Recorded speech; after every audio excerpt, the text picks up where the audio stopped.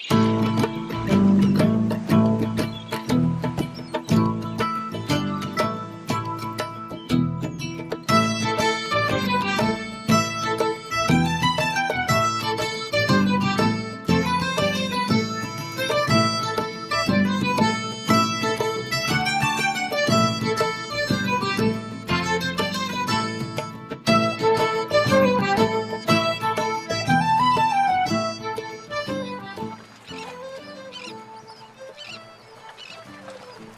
Today we're eye splicing three-strand rope.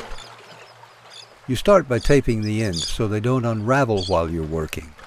Traditionally this was done using a piece of marline to create a rough whipping. But these days we have vinyl electrician's tape that makes the job so much faster and easier. I often form a point in the tape at the end of each strand. It's like a crude plastic needle. But this Gleaston Thimpest rope is so easy to work with, I don't need it. Once you have the ends prepared, carefully untwist the separate strands to the required length.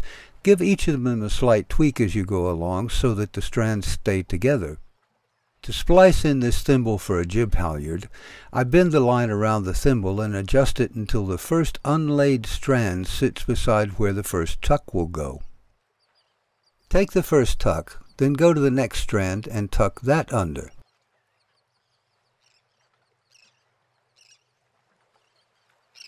See how it works? So far so good, but here comes the tricky bit.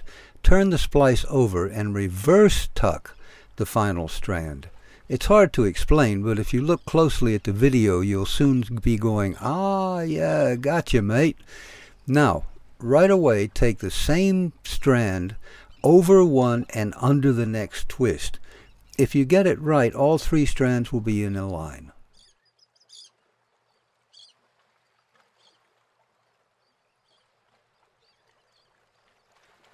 From there, it's over one and under one, always starting with the strand closest to the eye, then number two, followed by number three. You repeat that until your hands get tired or you run out of strand or decide that's enough and duck out for a pint. Someone once said five tucks are enough for most jobs, and seven if you're paranoid or figure the sea really is out to get you.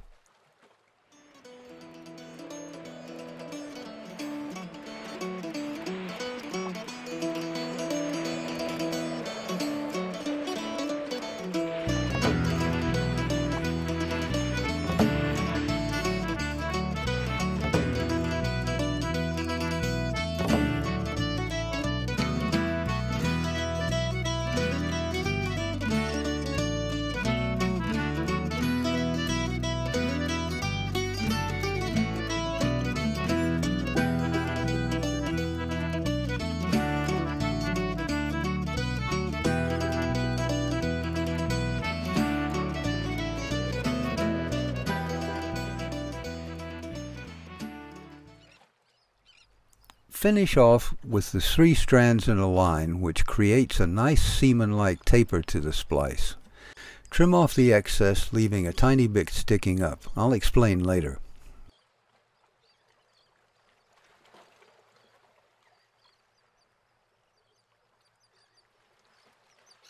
The next trick is to drop the splice on the ground and roll it under your foot to make it nice and round. Then burn the ends you just trimmed to seal them tighter than superglue.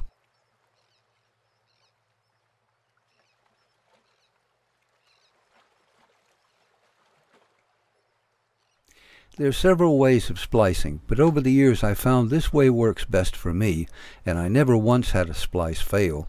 Yet.